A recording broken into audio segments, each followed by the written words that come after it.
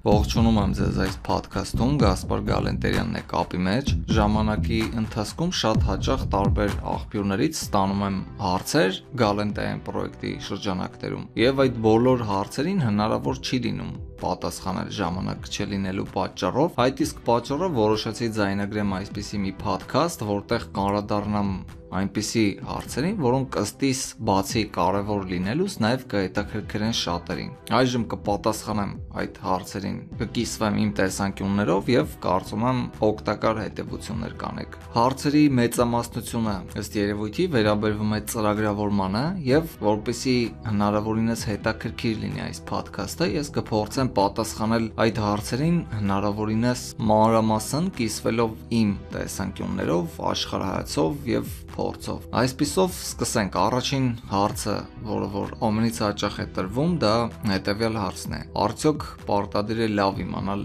անգլերեն ծրագրում սովորելու համար։ Իրականում գաղտնիք չէ, որ անգլերենը ծրագրման լեզուների հիմքն է, այսինքն գրեթե ցանկացած ծրագրման լեզու ստեղծվել է անգլերեն լեզվի հիման վրա։ Սակայն դա չի նշանակում, որ պետք է անգլերենի իմացությունը լինի գերազանց, որպեսզի հնարավոր լինի սովորել ծրագրավորում։ Օրինակ, իմ դեպքում ես երբ որ սկսեցի սովորել, անգլերենի բազային գիտելիքներ ունեի դպրոցից ու դա լիովին բավական էր, որպեսզի բացի ծրագրում սովորելուց նաև կարողանայի օգտվել անգլերեն ռեսուրսներից, կարդալ ինչ-որ բան, հասկանալ, այսինքն հիմնական նպատակը անգլերեն սովորելու կայանում է նրանում, որպեսզի կարողանաք օգտվել անգլերեն ռեսուրսներից, որովհետև ծրագրում սովոր սովորելու համար անգլերենի լավ իմացությունը պարտադիր չէ։ Ես գիտեմ մարդկանց, ովքեր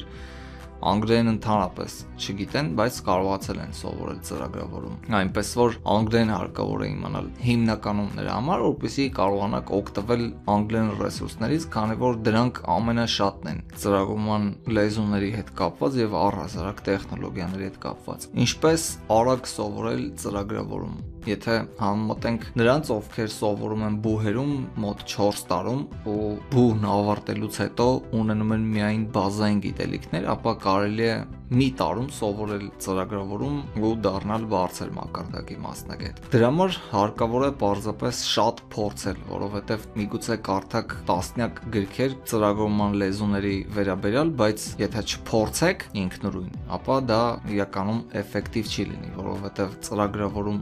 սովորում են հիմնականում փորձելով։ Ձեզ հետաքրքրող ծրագրման լեզվի վերաբերյալ պարզապես փորձեք գտնել հնարավորինս շատ նյութ, օրինակներ, բացի գրքերի դասերից, բացի վիդեո դասերից, նաև կարդացեք օգտակար նյութեր այդ ծրագրման լեզվի վերաբերյալ տվյալ, որը որ սովորում եք, ու կրկին անգլերեն լեզվով ինֆորմացիան զգալիորեն ավելի շատ է ու ամենակարևորը արագ սովորելու համար հարկավոր է առաջին հերթին ընկալել հիմքը ցանկացած ծրագրման լեզուն կա որոշակի բազա կա որոշակի հիմք որը որ յուրացնելուց հետո այդ լեզուն արդեն ավելի բարձր մակարդակի ուսումնասիրելը զգալիորեն հեշտանում է այդ հիմքը փորձեք յուրացնել ու մեկ ծրագրման լեզու յուրացնելուց հետո ցանկացած այլ ծրագրման լեզու կարելի է սովորել զգալիորեն ավելի հեշտությամբ Մի խոսքով, եթե ձեր արժև նպատակ դնեք, որ ենթադրենք 2 ամսում պետք է սովորեք այս կամ այն ծրագրման լեզուն, ապա դա կստացվի, եթե հետևեք այդ པարզ կանոններին։ Նպատակը հիմնական ընկալել հիմքը ու պարտադիր օրական մի քանի ժամ տրամադրել սովորելուն։ Ու իհարկե ամեն ինչ կստացվի։ Որքան է ծրագրավորողի աշխատավարձը։ Սա իհարկե հարաբերական բնույթ ունի այս հարցը, որովհետև ծրագրավորողներ կան, ովքեր ապրում են տարբեր երկրներում ու տարբեր երկրներում տարբեր է աշխատավարձը։ Տարբեր ընկերություններում նույնպես տարբեր է աշխատավարձը։ Եթե վերցնենք ԱՄՆ-ն օրինակի համար, որտեղ գտնվում են հիմնական առաջատար ընկերությունները IT ոլորտի, ապա այնտեղ ծրագրավորողի միջին աշխատավարձը տարեկան կտրվածքով կազմում է մոտ 70-80 հազար ԱՄՆ դոլար։ Իհարկե այդպիսի աշխատավարձ չկա Հայաստանում, չկա նաև Ռուսաստանում։ Օրինակ կան ծրագրավորողներ, ովքեր ստանում են տարեկան մի քանի միլիոն ԱՄՆ դոլար։ Մի քանի տարի առաջ համացանցում հանդիպել է ինֆորմացիա այն մասին, որ կան ծրագրավորողներ, ովքեր աշխատում են NASA-ում ենթադրենք կամ SpaceX ընկերությունում, որոնք ստանում են բավականին մեծ գումար ու դրա դիմաց կատարում են իհարկե նաև բավականին լուրջ աշխատանք։ Իրենց գործը միայն կոդ գրելը չի ըստ երևույթի, իրենց մասնագիտության մեջ ներառվում է նաև ֆիզիկան, քիմիան, բարձր մակարդակի մաթեմատիկան եւ դա շատ ակտիվ կիրառվում է նաեւ ամբողջ ծրագրման ընթացքում, այսպես ասած։ Օրինակ, ինչով է զբաղվում NASA-ն կամ ինչով է զբաղվում SpaceX-ը։ Տիեզերանավերի հրթիռների արտադրություն թռիչք, այսինքն ամեն ինչ կապված տիեզերքի հետ եւ տիեզերանավերի հետ, այսպես ասած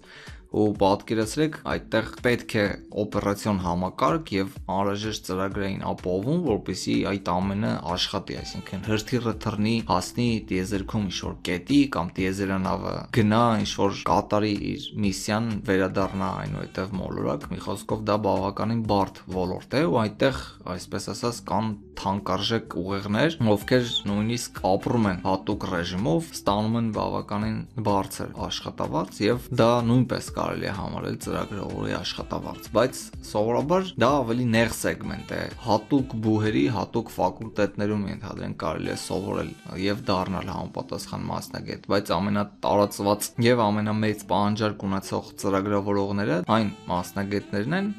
ինֆորմացիոն տեխնոլոգիաների ոլորտում մասնագիտացված ծրագրավորողներն են, այնպիսի մասնագետները, ովքեր կարողանում են ստեղծել մոբայլ հավելվածներ, վեբ կայքեր եւ այլն։ Կա վեբ կայք, որտեղ կարող եք գտնել ինֆորմացիա այն մասին, թե որ ընկերություններում որքան է ծրագրավորողի աշխատավարձը, պահանջները մասնագիտական եւ այլն։ Այդ հղումը այդ վեբ կայքի կտեղադրեմ այս վիդեոյի ներքևում, որպեսզի կարողանաք գտնել մանրամասն ինֆորմացիա։ Հաջորդ հարցը Հայաստանում հնարավոր է գտնել այնպիսի աշխատանք, որպեսզի եւ աշխատավարձը լինի բարձր եւ պայմանները գոհացնեն։ Իրականում այսպես է, Հայաստանում կա շատ քիչ ընկերություններ, որտեղ ծրագրավորողի աշխատավարձը բարձր է։ Եթե համեմատենք ոչ թե ԱՄՆ-ի, այլ ընդհանրապես ամբողջ աշխարհի մասշտաբով։ Ու եթե նախընտրում եք սովորել ծրագրավորում, որպեսի բարձր աշխատավարձով աշխատանք գտնել Հայաստանում, դա իրականում այդքան էլ ողջամիտ նպատակ չէ, որովհետև բարձր աշխատավարձով ծրագրավորողի աշխատանք կարելի է այսօր գտնել միայն ԱՄՆ-ում։ Բոլոր առաջատար ընկերությունները գտնվում են այնտեղ ու լավագույն ծրագրավորողները նույնպես գտնվում են այնտեղ։ Իսկ մնացած դեպքերում արդեն կարող եք ենթադրենք գտնել աշխատանք, պարզապես նորմալ վարձատրվող աշխատանք, ոչ միայն Հայաստանում, ցանկացած նաև այլ երկրում, աշխատել, ապրել, բայց եթե խոսքը գնում է բարձր աշխատավարձի մասին, ապա պետք է մտածել այն ուղղությամբ, որ առաջին հերթին դառնալ բարձր մակարդակի մասնագետ, գոնե միջինից բարձր, որպեսզի կարողանա գտնել բարձր աշխատավարձով աշխատանք արդեն ԱՄՆ-ում։ Իհարկե, պայմանները նույնպես առաջատար ընկերություններում բավականին հետաքրքիր են։ Կարող եք իհարկե փնտրել եւ գտնել համացանցում նյութեր այն մասին, թե ինչպիսին են պայմանները ամենաառաջատար ընկերություններում, օրինակ Google, Apple, ենթադրենք Microsoft, Facebook եւ այլն։ Հաջորդ հարցը. Հարգելի Գասպար Գալենտեմ կայքը շատ լավ ռեսուրս է, գերազանց աշխատանք եք կատարել, իսկ մոտ ապագայում պլանավորում եք զարգացնել պրոյեկտը եւ ինչու են այդ հիանալի կուրսերը միայն հայերեն լեզվով։ Նախ շնորհակալություն դրական կարծիքների համար։ Շատ ակտուալ հարց է, շատերն են հարցնում այդ պրոյեկտի հետ կապված թե ինչ նոր կուրսեր են ավելանալու եւ այլն։ Այժմ կփորձեմ պատասխանել այդ հարցին հնարավորինս մանրամասն։ Ի սկզբանե չէր պլանավորվել այսպիսի պրոյեկտ իմ կողմից։ Ամենասկզբից որոշել էի պարզապես ստեղծեմ մի քանի կուրս վեբ ծրագրման ոլորտից եւ այդքանով եզրափակվի այս ամենը։ Հետո որոշեցի այդ կուրսերը հավաքեմ ինչ-որ վեբ կայքում եւ դա որպեսի հասանելի լինի բոլոր ցանկացողներին։ Իմ սկսնակ ժամանակներն էլ ես երբեմն օգտվում էի տարբեր ռեսուրսներից, ինչ-որ վիդեո կուրս, վիդեո դաս, տարբեր տեսակի դիտում էի ու մտածում էի, որ կարելի է ենթադրենք թարգմանել տարբեր կուրսեր հայերեն լեզվով եւ վերջում կստացվի ինչ-որ արդյունք։ Ամենաշատը ինձ հետաքրքրում էր, թե ինչպես են այս կամ այն երևույթը բացատրում վիդեո դասերի միջոցով, ինչ օրինակների միջոցով են բացատրում ենթադրենք այլ հեղինակներ, ենթադրենք անգլերենով, ռուսերենով, որոնք որ հասանելի են համացանցում։ Ու երբ որ զգացի, որ թարգմանելը դա լուծում չէ, այսինքն կարելի է պարզապես սովորել ինչ-որ լեզու, օրինակ անգլերեն սովորել եւ օգտվել անգլերեն լեզվով աղբյուրներից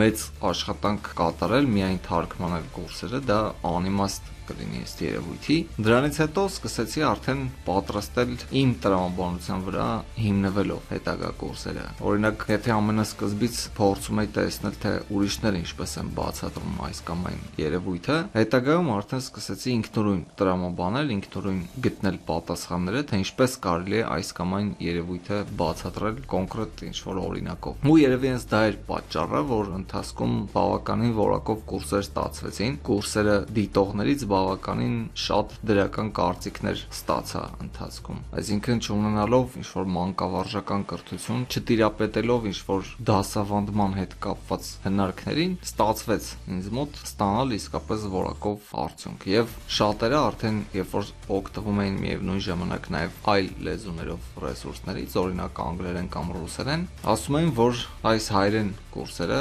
համեմատած ավելի մատչելի է, ավելի ընկալելի է եւ ավելի որակով է։ Դա իհարկե մոտիվացիա էր, մոտիվացիա էր կապված նրա հետ, որ սկսեցի աշխատել այս պրոյեկտի շուրջ ու մինչ օրս էլ աշխատում եմ, հայտնվում են նոր կուրսեր։ Ու ընթացքում արդեն զգացի, որ գնալով ավելի ու ավելի եմ հմտանում Եթե առաջի ձայնագրած կուրսերը համեմատում եմ նոր ձայնագրած կուրսերի հետ, զգալիորեն մեծ տարբերություն է նկատվում թե որակի հարցում, թե մնացած նրբությունների հարցում։ Բայց կա մի այսպիսի նրբություն, ես ավելի շատ մասնագիտացված եմ վեբ ծրագրման ոլորտում ու ինչքան որ կուրս հայտնվի իմ կողմից, դրանք հիմնականում կլինեն վեբ ծրագրման ոլորտից։ Բայց պահանջարկը այնպիսին է, որ կա նաև Android պլատֆորմ ու բավականին մեծ է պահանջարկը կա iOS iOS պլատֆորմ ու մարդիկ ցանկանում են սովորել ենթադրենք մոբայլ հավելվածների պատրաստում արդեն այդ պահանջները բավարարելու համար հավանաբար կգտնեմ այնպիսի հեղինակների ովքեր կկարողանան պատրաստել իսկապես որակյալ կուրսեր եւ դրանք նույնպես կտեղադրվի galent.am կայքում այսպիսի պլաններ կա կապված պրոյեկտի հետ միգուցե նաեւ նկատած լինեք որ մինչ օրս բիզնես բաժինը դատարկ է ի սկզբանե պլանավորվել էր նույն մեխանիզմով որպեսզի այն այնտեղ նույնպես լինեն կուրսեր բիզնես թեմայով, բայց քանի որ ես երկար տարիների փորձ չունեմ բիզնեսի աշխարհում, այսպես ասած, ու դժվար թե ինձ մոտ ստացվի ինչ-որ խորացված կուրսեր ստեղծել այդ թեմայով, հետեւաբար նույնպես կփորձեմ գտնել այնպիսի հեղինակների, ովքեր իսկապես կկարողանան պատրաստել որակյալ կուրսեր բիզնես թեմայով արդեն։ Եվ դրանք նույնպես պլանավորվել է մոտ ապագայում, որպեսզի ռեալիզացվեն։ Ու հիմնական խնդիրը կանում է նրանում, որ բիզնեսի հետ կապված կան մի շարք գրքեր, որոնք արդեն հնացել են։ Կարելի է ընթերցել տարբեր տեսակի գրքեր, բայց դրանից շատ քիչ օգուտ քաղել։ Այսօր գործում են այլ մեխանիզմներ, ի հայտ են եկել այլ մեթոդներ բիզնեսի կառավարման հետ կապված, բիզնեսի ստեղծման հետ կապված ուղղվածությունը եւ այլն ու կան նաեւ շատ թեորետիկներ, ովքեր պարզապես տալիս են թեորիա, բայց իմ համար ավելի կարևոր է, որպեսզի եթե լինեն կուրսեր, դրանք լինեն իսկապես որակյալ։ Հակառակ դեպքում ավելի լավ է պարզապես դատարկ մնա այդ բաժինը կամ ընդհանրապես վերանա։ Այդպես եմ կարևորում այդ հարցը, որովհետև մենք հիմա ապրում ենք այնպիսի դարաշրջանում, որտեղ ամբողջ ցիվիլիզացիան առաջնորդվում է մի համակարգով, որի հիմքում ընկած է կապիտալիզմը, որտեղ մարդկության վրա ավելի շատ ազդեցություն են ունենում ոչ թե պետությունները, այլ մասնավոր խոշոր կազմակերպությունները ու հատկապես նրանց համար, ովքեր չեն բավարարվում միայն աշխատանք գտնելով, այլ ցանկանում են ստեղծել ինչ-որ բիզնես մոդել, ինչ-որ աշխատող մեխանիզմ, հարկավոր է որպեսի ունենան ճիշտ պատկերացում, թե ինչ մեխանիզմի հիման վրա է ամբողջ աշխարհը շարժվում առաջ, որպեսի կարողանան նաև տարբեր տեսակի լծակներ աշխատացնող մեթոդները ճիշտ կիրառեն։ Վերջի վերջով գլոբալ կապիտալիզմը սկսվեց 19-րդ դարի վերջում, 20-րդ դարի սկզբից ու սկսվեց ԱՄՆ-ից, Եվրոպայից, հատկապես նախկին սովետական երկրներում, այդքան էլ զարգացած չի այդ ոլորտը, որպեսի լինեն որակյալ դասավանդողներ, կոնսուլտանտ մեկներ, լինի գիրք, գրականություն եւ այլն։ Հետևաբար կուրսերը կլինեն ոչ թե այն մասին, թե ինչպես բացել հերթական ռեստորանը կամ շորի խանութը, այլ որպեսի լինեն ավելի արժեքավոր կուրսեր, թե ինչպես անել այնպես, որպեսի միայն դու կարողանաս ներմուծել այս կամ այն ապրանքը ինչ որ X երկիր, կապ չունի, լինի դա դեղ թե սնունդ, կամ թե ինչպես գնել ինչ որ ապրանք ավելի ցածր գնով եւ մեկ այլ վայրում վաճառել այդ ապրանքը ավելի բարձր գնով, դա իմ կարծիքով այդքան էլ արժեքավոր գիտելիքներ չեն։ Իսկ նախնական շրջանում եթե կուրսեր հայտնվեն, դրանք հավանաբար կլինեն նախատեսված սկսնակների համար եւ կլինեն կուրսեր այն մասին, թե ինչպես կարելի է զարգացնել այս կամ այն բիզնես մոդելը օգտագործելով համացանցը որպես գործիք։ Իսկ ինչ վերաբերվում է նրան, թե ինչու են կուրսերը հայերեն լեզվով, որովհետև ի սկզբանե հենց սկսել էի հայերեն լեզվով կուրսեր պատրաստել ու այսպիսի մեծ պրոյեկտի շուրջ չէի մտածել, բայց հիմա եթե այսպիսի պրոյեկտ կա արդեն, ու իմաստ չեմ գտնում դրա մեջ, որ այս հայերեն լեզվով կուրսերը թարգմանվի այլ լեզուներով, որովհետև այլ լեզուներով կուրսեր շատ կան, հատկապես անգլերեն լեզվով։ Իսկ այս բիզնես մոդելը միջազգային շուկայում աշխատելու համար արդեն պետք է կիրառվի այլ մեխանիզմ, բայց նմանատիպ պրոյեկտ միջազգային շուկայում թող թողարկելու միտք դեռևս չունեմ։ Այնպես որ հայերեն կուրսեր միայն կհայտնվեն այս պրոյեկտում եւ այդ կուրսերը կհայտնվեն հիմնականում ըստ պահանջարկի։ Ինչից է, որ աղջիկ ծրագրավորողներ չեն լինում կամ շատ քիչ են լինում։ Ինչ է կարծում կստացվի արդյոք ինձ մոտ դառնալ նորմալ ծրագրավորող։ Իրականում այո, աղջիկ ծրագրավորողներ շատ քիչ են, բայց ինչ վերաբերվում է նրան, որ հնարավոր է որպիսի աղջիկը դառնա ծրագրավորող, Միանշանակ այո, թեորապես դա հնարավոր է, բայց մենք ապրում ենք այնպիսի ժամանակահատվածում, որ աղջիկների հետաքրքրությունը մի փոքր այլ է։ Այդ իսկ պատճառով ավելի քիչ կարելի է հանդիպել աղջիկ ծրագրավորողների։ Սովորաբար ծրագրավորողները, երբ որ դառնում են ծրագրավորող, այդ ամբողջ ժամանակի ընթացքում ցանկացած լավ ծրագրավորող երկար տարիներ նվիրել է իր աշխատանքին ու մաքսիմալ կենտրոնացում է պահանջում։ Դա իրականում աղջիկների համար դա հեշտ չէ, որովհետև մեծամասամբ շատերի հետաքրքրությունը ավելի շատ կանում է նրանում, որ թե ինչպես գեղեցիկ տեսք ունենան ենթադրենք ինչպես ուշադրություն գրավեն ով ավելի շատ հետևորդ ունի ենթադրենք սոցցանցերում կամ ում են ավելի շատ նամակներ գրում այսինքն հիմա այնպեսի ժամանակներ է որ ավելի շատ էներգիա ծախսում են այլ երևույթների վրա իսկ ծրագրավորող դառնալու համար պահանջում է մաքսիմալ կենտրոնացում եւ ավելորդ երևույթներից հարկավոր է ձերբազատվել իսկ եթե ձեզ իրոք դուր է գալիս ծրագրավորումը եթե իրոք ցանկանում եք դառնալ նորմալ ծրագրավորող ապա պարզապես տրամադրվեք ու ձեզ մոտ ամեն ինչ կստացվի, այսինքն այնպես չի, որ հնարավոր չի, հա, ուղեղի կառուցվածքը կամ ունակությունները թույլ չեն տալիս, որպեսզի աղջիկը կարողանա դառնալ ծրագրավորող։ Դա այդպես չէ, պարզապես հարկավոր է հասկանալ, նկատել բոլոր պատճառահետևանքային կապերը, թե ինչու չեն դառնում նորմալ ծրագրավորող, ինչն է հիմնական պատճառը, ինչն է խանգարում ու դրանք շրջանցել։ Եթե իրոք ցանկանում եք, ապա կարող եք կստացվի ինչու պետք է չստացվի։ Հաջորդ հարցը. Որոնք են այսօրվա տրենդները տեխնոլոգիաների ոլորտում ըստ ձեզ եւ որտեղ արժի խորանալ։ Սովորաբար ճիշտ է, ես ավելի մասնագիտացված եմ վեբ ծրագրավորման ոլորտում, բայց վեբ ծրագրավորումով չի ավարտվում ծրագրավորման աշխարհը։ Իրականում ծրագրավորման աշխարհը կարելի ասել անսահմանափակ է ու օրեցօր հայտնվում են նոր տեխնոլոգիաներ։ Այսօր շատ ակտիվ զարգանում է վիրտուալ իրականության հետ կապված տեխնոլոգիաները, արհեստական բանականություն, նանոտեխնոլոգիաներ տպիչներ, 3D տպիչներ, օրգանական, ոչ օրգանական մի խոսքով, այն ինչը որ մենք տեսել ենք տարիների ընթացքում ֆանտաստիկ ֆիլմերում, գնալով դառնում է իրականություն այս տեխնոլոգիաների դարաշրջանում։ Օրինակ կան շատ ու շատ հետաքրքիր ոլորտներ, որոնք դեռ նոր են սկսում զարգանալ, եւ այդտեղ նույնպես կարելի է արդեն խորանալ ու բավականին հետաքրքիր է այդ ոլորտում աշխատելը։ Որոշ ժամանակ հետո մոտ ապագայում արդեն գերակշռող մեծամասնությունը մոլորակում տրանսպորտի կլինի անօթաչու, թե մեքենաները, թե այլ տրանսպորտային միջոցները, որոնք կօգտագործվի մեր առօրյայում, դրանք հիմնականում կլինեն անօթաչու սարքեր ու այդտեղ նույնպես ինժեներների, ինժեներ ծրագրավորողների դերը բավականին մեծ է լինելու։ Վիրտուալ իրականության հետ կապված տեխնոլոգիաներն են շատ ակտիվ զարգանում եւ կգա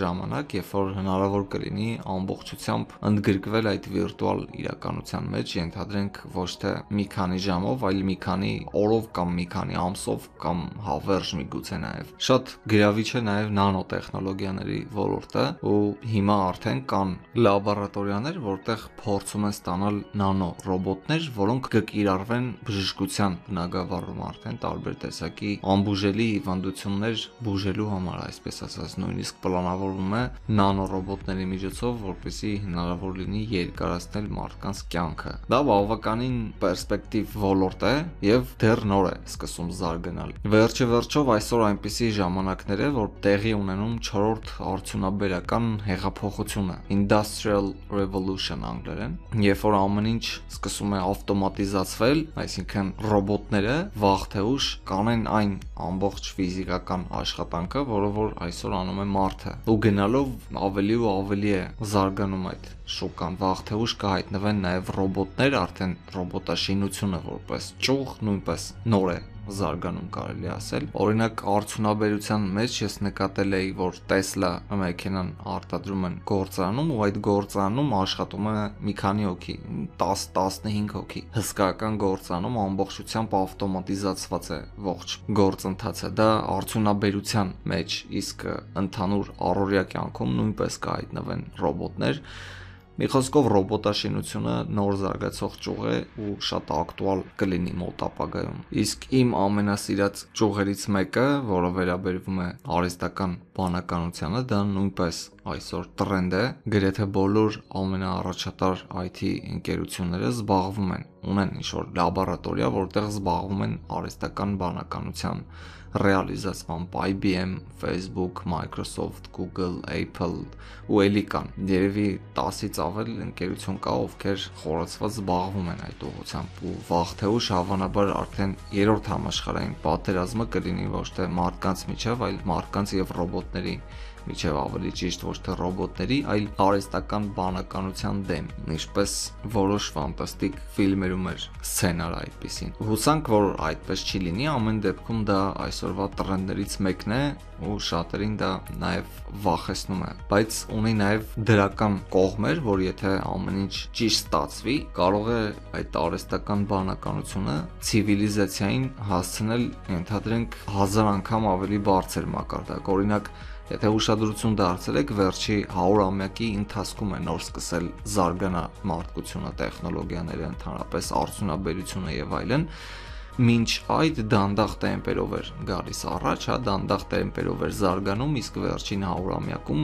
լուրջ փոփոխություններ տեղի ունեցավ ու արհեստական բանականության միջոցով կարող է այդ արագությունը աճել մոտ 1000 անգամ ենթադրենք հաջորդ դարաշրջանում արդեն մարդիկ ենթադրենք կատարեն միջմոլորակային ճանապարհորդություններ դառնան 1000 անգամ ավելի խելացի բանականություն խելացի ավելի բարձր մակարդակի ցիվիլիզացիա կարող է դառնալ հենց արհեստական բանականության շնորհիվ դա այսօրվա ամենա երևի top տրենդերից մեկն է վերջի վերջով Այսպեսով պատկերացնենք այսպես մարդու ուղեղը ունի որոշակի հզորություն, կա մոտ միլիոն միլիարդ նեյրոնային կապերի կարգավիճակներ ու եթե արհեստական բանականությունը ստեղծվի, ապա այդ կարգավիճակները կարող է ավելի շատ լինել ու ավելի մեծ էներգիայով կարող է աշխատել այդ ողջ մեխանիզմը, այսինքն պատկերացնենք ինչ որ երևույթ, ով գիտակցում է սեփական իսկ գոյության մասին, տրամաբանում է ինքնուրույն, մոտ միլիոն անգամ ենթադրենք ավելի հզոր է մարդու ուղեղից ու ինչ հայտնագործություններ կարող է անել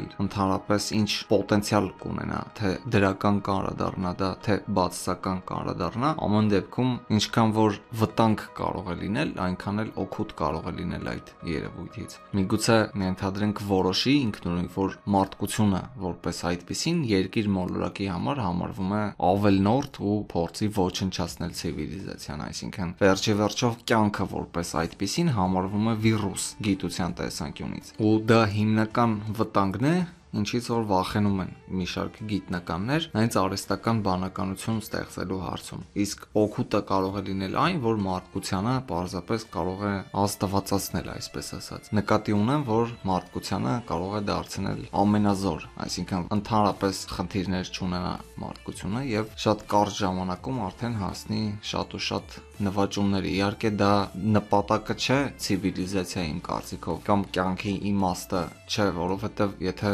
պայմանականորեն համարենք կյանքի իմաստը երջանիկ լինելն է, ապա արհեստական բանականությունը կարող է ավելին քան երջանկություն ապարգևել ամբողջ ցիվիլիզացիային։ Ինչևէ, հաջորդ հարցը, այսօր շատ ակտիվ զարգանում են վիրտուալ իրականության հետ կապված տեխնոլոգիաները։ Ինչ է կարծում մոտ ապագայում հնարավոր կլինի տեխնոլոգիաների միջոցով ստանալ լիարժեք վիրտուալ իրականություն եւ ապրել այդ իրականությունում։ Այո, իմ կարծիքով հնարավոր կլինի։ Մեծ հաշվով վերջերս Elon Musk-ի հարցազրույցն էի լսում ու նրան հարցնում էին թե ինչ եք կարծում վիրտուալ իրականության հետ կապված։ Մարդիկ կսկսեն ապրել վաղ թե ուշ վիրտուալ իրականությունում, թե ոչ, իսկ Musk-ը պատասխանեց, որ շանսերը միլիարդից մեկն է, որ մեր իրականությունը վիրտուալ իրականություն չէ։ Այսինքն մենք ամենայն հավանականությամբ հենց ապրում ենք վիրտուալ իրականության մեջ։ Դա իհարկե իր կարծիքն էր, բայց այնուամենայնիվ վիրտուալ իրականությունը լիարժեք որպես այդպեսին դա չի բացառվում։ Թեորապես դա հնարավոր է, միգուցե մինչ օրս դեռ չեն ստացել այդպիսի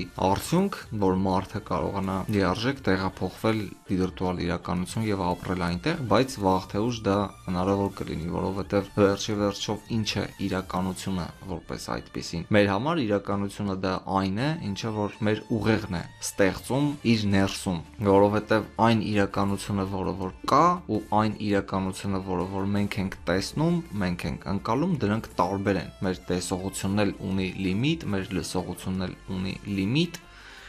այդ ամբողջ շրջակա միջավայրի ստացված սիգնալների միջոցով, այսպես ասած, ձևավորվում է մեր ուղեղի ներսում արդեն ստեղծվում է իրականությունը, որը որ մենք համարում ենք իրականություն։ Այսինքն թեորապես լիարժեք վիրտուալ իրականությունը լիովին նորմալ երևույթ է։ Ու հատկապես այս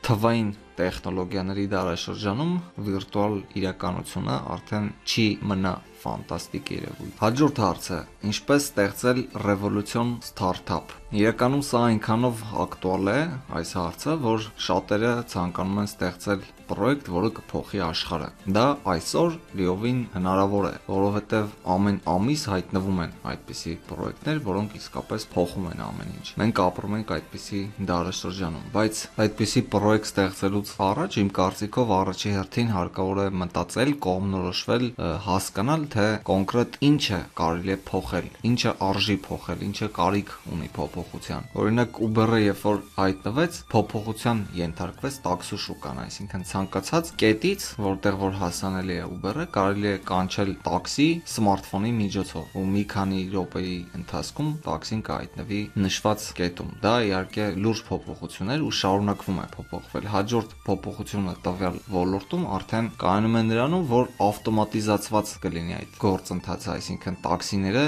լինեն ենթադրենք առանց վարորդի։ Ինչպես նշեցի նախորդ հարցերի ժամանակ, որ շատ ակտիվ զարգանում է այդ ոլորտը, անօթաչու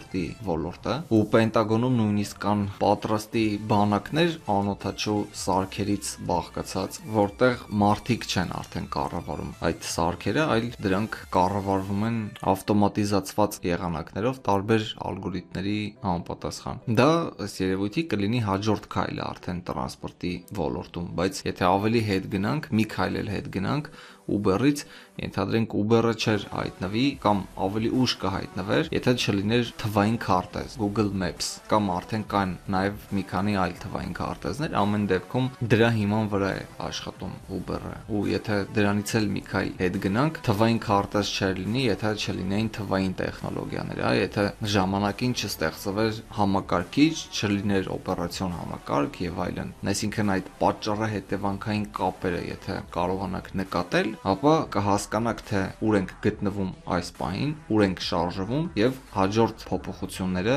որ ոլորտում է սպասվում։ Օրինակ հենց նույն վերջին 100-ամյակի ընթացքում եղել է ժամանակահատված, երբ որ նամակ են ուղարկել ծրարի միջոցով, բայց այսօր արդեն կարելի է նամակ ուղարկել վարկյանական սմարթֆոնից ցանկացած մարդու հետ, որ ցանկանում են կապնվել կամ վիդեոզանգ, հա, ենթադրենք ժամանակին, եթե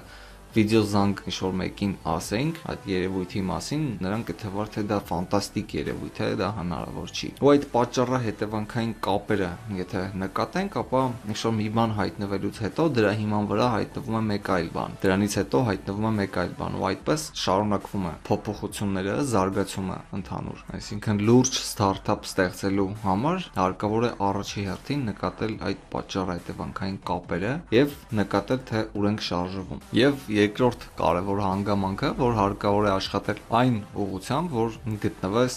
ճիշտ ժամանակին ճիշտ վայրում։ Այսինքն, եթե Հայաստանում տեզերագնաց չես դառնա, ապա պետք է գնաս այնպիսի երկիր, այնպիսի վայր, որտեղ որ հնարավոր է դառնալ տեզերագնաց։ Ու սովորաբար լուրջ պրոյեկտները, որոնք արդեն թողարկվում են հենց միջազգային շուկայում աշխատելու համար, այդպիսի պրոյեկտները թողարկվում են ինֆորմացիոն տեխնոլոգիաների մայրաքաղաքից։ Կալիֆոռնիա նահանգում է գտնվում բոլոր այդ առաջատար ընկերությունները, թե ինֆորմացիոն տեխնոլոգիաների ոլորտում, թե առհասարակ տեխնոլոգիաների ոլորտում։ Դա նույնպես կարևոր փաստ է, որը որ պետք է հաշվի առնել։ Եվ իհարկե նախնական կապիտալը պարտադիր չէ։ Կան պրոյեկտներ, որոնց համար պահանջում է մի քանի 100 միլիոն ԱՄՆ դոլար։ Ու այդպիսի նախնական կապիտալ միգուցե մինչև կյանքի վերջ մարդ չունենա, բայց եթե կա խելացի միտք, կա մեծ ցանկություն այդ միտքը ռեալիզացնելու, ապա կարելի է գտնել ներդրողների, հատկապես տեխնոլոգիաների ոլորտում կամ ինֆորմացիոն տեխնոլոգիաների ոլորտում ավելի հեշտությամբ կարելի է գտնել այդպիսի ներդրողներ, ովքեր պատրաստ են ներդնել մեծ գումարներ։ Եթե իհարկե միտքը գրավիչ է, միտքը համոզիչ է, ապա ամեն ինչ կստացվի։ Դա իհարկե առանձին թեմա է, թե ինչպես գտնել ներդրողներ, ինչպես այդ ամենը պլանավորել, կազմակերպել, ռեալիզացնել եւ այլն։ Պարզապես այս թեմայով կնշեմ եւս մի այսպիսի փաստ, որ կան տարբեր տեսակի կազմակերպություններ, որտեղ կազմակերպվում են տարբեր միջոցառումներ, ստարտափ մրցույթներ, որտեղ մարդիկ իրենց ստարտափի միտքը տանում են, ներկայացնում են, ինչ որ եթե կա product դա էլ են ներկայացնում ու հավաքվում են այդտեղ նաև ներդրողները, ովքեր որոշում են թե որտեղ կարելի է գումարներ դնել։ Նույնիսկ այդպիսի on-line պրոյեկտներ էլ կան, որ կարելի է այդ ամենը կազմակերպել արդեն համացանցի միջոցով։ Ժամանակին ես նույնպես պլանավորել եմ այդպիսի պրոյեկտ ստեղծել Հայաստանում, բայց հետո զգացի, որ այդքան էլ չի մոտիվացնում այդ պրոյեկտը, քանի որ այն պետք է աշխատի միայն Հայաստանում ու հավանաբար այդ ուղղությամբ աշխատանքներ այլևս չեն տարվի։ Հավանաբար նկատած կլինեք, որ Galentine պրոյեկտից հետո եւս մի պրոյեկտ է ստեղծել, որը վերաբերում էր ֆրիլանսինգին, ու այդ պրոյեկտի շուրջ նույնպես այժմ չեմ աշխատում, որովհետեւ կրկին չկա մոտիվացիա։ Այն հերանեկարները, որոնք որ տեսնում եմ ամենասկզբից պլանավորելու ժամանակ, թողարկելու ժամանակ ընթացքում արդեն զգացի, որ ինչ որ բան փոխվել է, այլ չի մոտիվացնում տվյալ պրոյեկտը ու դադարել եմ աշխատանքներ տանելը։ Դա նույնպես կարևոր փաստ է, պետք չի խճճվել։ Ենթադրենք, եթե ինչ-որ մի բան անում ենք, ստացվում է, հետո հասկանում ենք, որ այլևս չենք ուզում այդ ուղղությամբ աշխատել, չկա մոտիվացիա, ուրեմն պետք չի դա թողնում ենք, անցնում ենք մեկ այլ պրոյեկտի շուրջ աշխատելու, որը որ իսկապես մոտիվացնում է։ Դա այնքանով է կարևոր, որ մեծ պրոյեկտները, որոնք իրոք փոխել են աշխարհը, ստեղծվել են հենց այդ պրինցիպով։ Առաջի հերթին եղել է ստեղծողի մոտ մեծ ցանկություն, որ պետք է ստեղծվի իսկապես լուրջ պրոյեկտ, որը որ իսկապես պետք է փոխի ինչ-որ բան։ Մեծ պրոյեկտները հենց այդպես են ստեղծվել։ Մեծ ցանկության արկայության ներքո, այսպես ասած։ Եթե չկա այդ մեծ ցանկությունը, ապա այդ պրոյեկտը նույնպես մեծ հեռանկարներ չի ունենա։ Ու այս թեմայով Սթիվ Ջոբսի խոսքերը հիշեցի, որ հարցազրույցի ժամանակ նշեց, որ եթե դուք նկատեք, որ ձեզ շրջապատող մարդիկ ձեզանից խելոք չեն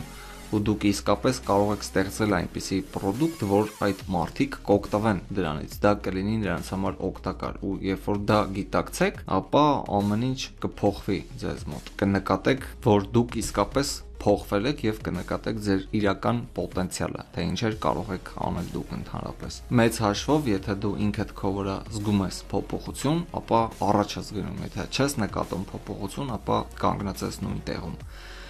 Նաև կցանկանայի նշել մի այսպիսի կարևոր փաստ, քանի որ այն աուդիտորիան, որը որ հիմնականում լսում է այս ոդքասթը, Հայաստանի բնակիչներն են, եւ նշեմ այսպիսի մի կարևոր երևույթ։ Երևի շատերի համար գաղտնիք չէ, որ հայաստանյան շուկան միջազգային շուկայից երևի մինիմում 10-20 տարի հետ է։ Հետևաբար այն բիզնես մոդելները, որոնք որ գործում են Հայաստանում, դրանք սովորաբար առաջին անգամ աշխարհում հայտնված պրոյեկտներ չեն, այսինքն եղել է նմանատիպ ինչ որ մոդել, որը որ աշխատել է ենթադրենք միջազգային շուկայում, այնուհետև այդ նույն մոդելից միտքը վերցրել են ու կիրառել են արդեն հայաստանյան շուկայում։ Օրինակ վերցնենք բջջային օպերատորները։ Շատ շուտվանից արդեն բջջային օպերատորներ եղել են աշխարհի մասշտաբով, դրանից հետո նոր հայտնվել են նաև Հայաստանում։ Մի քանի པարզ օրինակով այժմ կփորձեմ փոխանցել այն միտքը, որը որ կարևորում եմ։ Վերցնենք ինտերնետ խանութները, երբ որ հայտնվեց էլեկտրոնային կոմերցիան որպես այդպեսին, ԱՄՆ-ում, Եվրոպայում, այնուհետև նոր հայտնվեց Հայաստանում երկար ժամանակ հետո։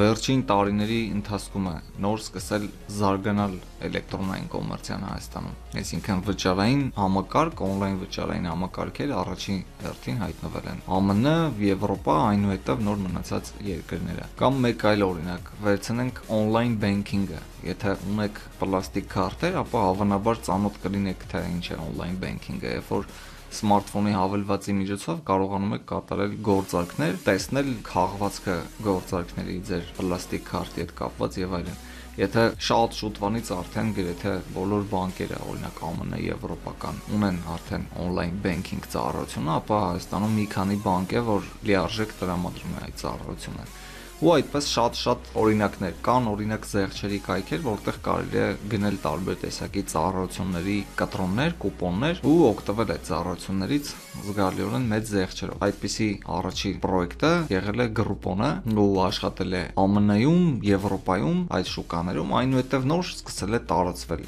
Ռուսաստան, նաև Հայաստան, այսօր արդեն կան նաև այստեղ այդպիսի պրոյեկտներ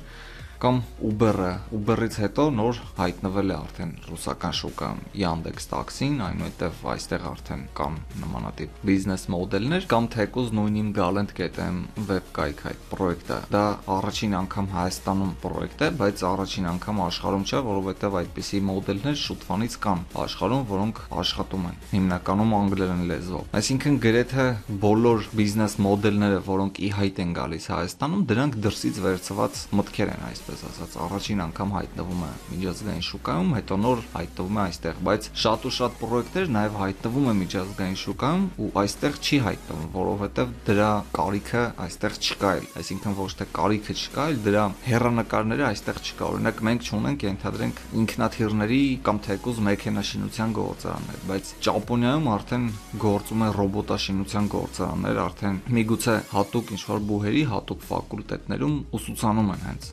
ռոբոտաշինություն, արդեն Մարս են ուղարկում ռոբոտներ Ճապոնիայից, թեկուզ եթե համեմատվենք Ճապոնիայի հետ, արդեն զգում ենք, որ սարեր ձորերի տարբերություն կա։ Կամ մոտ ապագայում կլինեն արդեն գործարաններ, որոնք կսկսեն արտադրել մարտկոցներ էլեկտրական մեքենաների համար։ Ու այդպիսի շուկա այստեղ նույնպես չկա, որովհետև մենք չունենք արտադրություն մեքենաների։ Համակարգչային տեխնոլոգիաների ոլորտից ենթադրենք, եթե վերցնենք Intel ընկերությունը, ինչ է արտադրում։ Արտադրում է չիպսետներ ու գրեթե բոլոր բոլոր խոշոր կազմակերպությունները գնում են chipset իրենց համակարգչային արտադրության համար հենց Intel-ի արտադրանքը։ Նո այստեղ նույնպես չկա այդպիսի շուկա։ Բացի նրանից, որ ինչ որ մի բան, երբ որ հայտնվում է Հայաստանում, հայտնվում է մի 10 տարի հետո մոտավորապես կամ 5 տարի հետո, կամ բաներ նաև որ հայտնվում է միջազգային շուկայում, բայց Հայաստանում չի էլ կարող հայտնվել։ Այսինքն այդ երևույթը, այդ պատճառահետևանքային կապը հարկավոր է լավ պատկերացնել, գիտակցել այդ ամենը, որպեսզի հետագայում հեշտ հեշտ լինի կողմնորոշվել է։ Օրինակ Հայաստանում կա կազմակերպություն, որտեղ շուկա են հանում պլանշետներ, սմարթֆոններ, բայց դա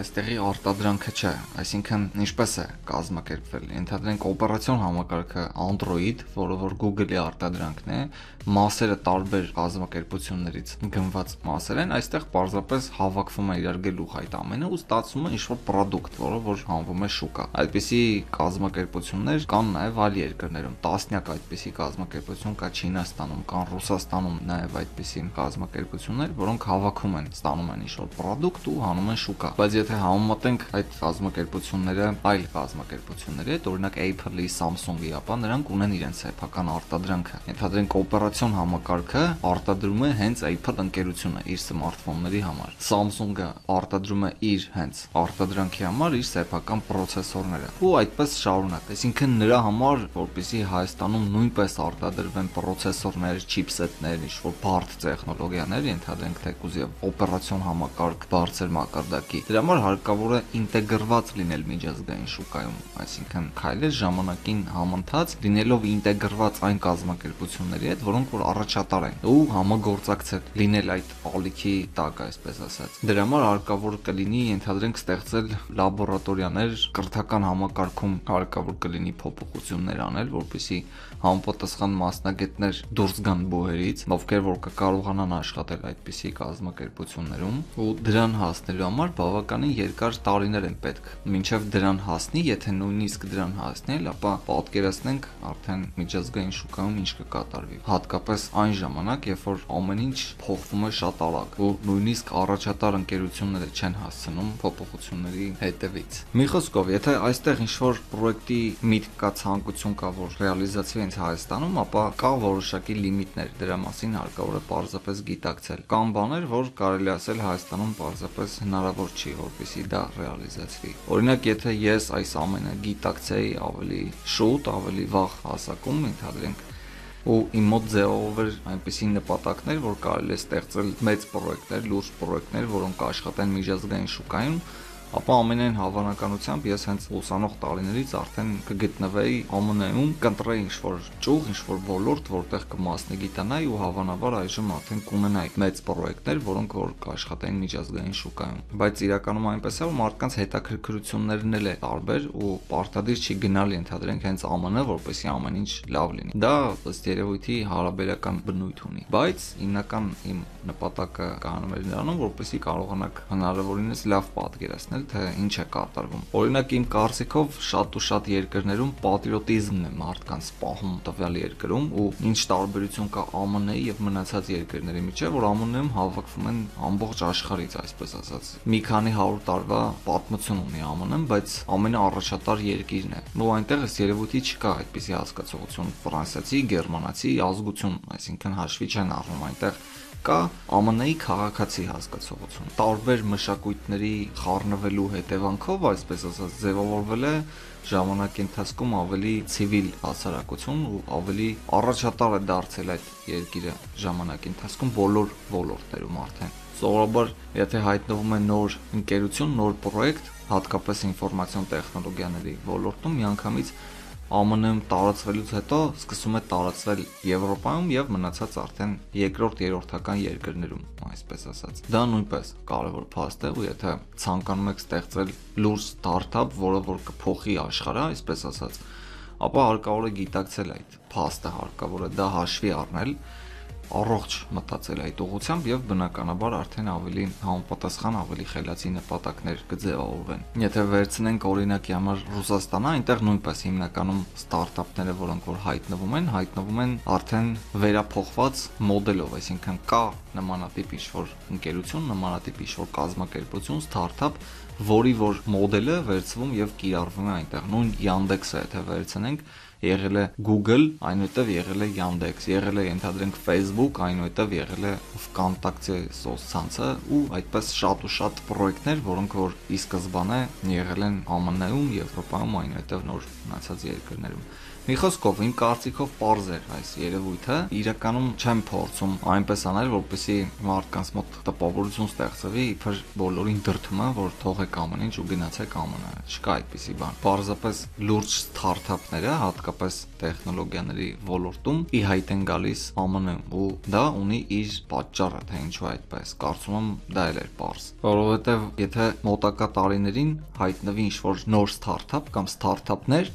տվյալ ոլորտում։ Պարզապես հիմնական դեպքերում հնարավոր չէ, որպեսի այդ ստարտափը հայտնվեր մեկ այլ երկրներում, որովհետև այլ երկրներում չկա այդ շղթան արդեն կառուցված, որի հիման վրա որ արդեն ստեղծվի հաջորդ օղակը այդ շղթայի, այսպես ասած։ Մնացած երկրներում կստեղծվի այն օղակը շղթայի, որտեղ որ հասել է այդ երկրի զարգացածության մակարդակը։ Եթե ենթադրենք Հայաստանում ինչ-ինչ պատճառներով հայտնվի օրինակ մեքենաշինության գործարան, ապա ԱՄՆ-ում կամ այլ առաջատար երկրներում հավանաբար կհայտնվի թռչող մեքենաների արտադրության գործարան։ Մոտավորապես այսպես։ Մի խոսքով կարծում եմ հիմնական հետաքրքրող հարցերին կարողացա պատասխանել հնարավորինս մանրամասն եւ կարծում եմ բավականին շատ օգտակար հետեւություններ արեցիք։ Գասպար Գալենտերյանն էր կապի մեջ առայժմ։